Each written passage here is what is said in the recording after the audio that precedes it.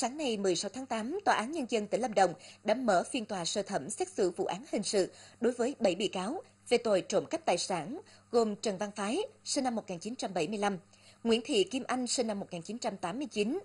Phạm Văn Thịnh, sinh năm 1979, Nguyễn Thanh Hùng, sinh năm 1969, Nguyễn Văn Khanh, sinh năm 1970, Nguyễn Anh Tuấn, sinh năm 1987, Nguyễn Thanh Bình, sinh năm 1992. Trong đó có 5 bị cáo ngụ tại tỉnh Bình Thuận, 2 bị cáo ngụ tại huyện Đức Trọng và huyện Lâm Hà, tỉnh Lâm Đồng. Theo cáo trạng, vào tháng 3 năm 2015, Phái phát hiện Quỹ tín dụng nhân dân xã Gia Hiệp huyện Di Linh vào buổi tối không có bảo vệ nên đã rủ Hùng và Kim Anh rủ thêm người chuẩn bị xe ô tô, công cụ để trộm cắp tài sản. Sau đó Kim Anh nói Tuấn và Thịnh chuẩn bị xe ô tô để đi trộm cắp. Tuấn và Thịnh đồng ý và rủ thêm Bình và Khanh cùng tham gia.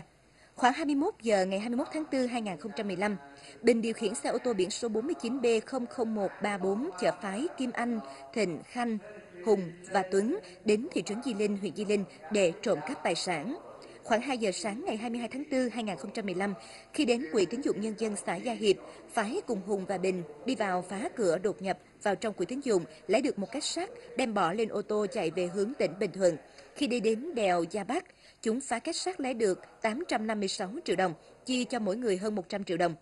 Tòa án Nhân dân tỉnh Lâm Đồng đã tuyên phạt bị cáo Trần Văn Phái 17 năm tù, Nguyễn Thị Kim Anh, Phạm Văn Thịnh, Nguyễn Thanh Bình, mỗi bị cáo 14 năm tù, Nguyễn Anh Tuấn 13 năm tù, Nguyễn Văn Khanh, Phan Đức Tiến, mỗi người 12 năm tù. Buộc các bị cáo bồi thường toàn bộ số tiền đã chiếm đoạt cho Quỹ tín dụng Gia Hiệp, Di Linh.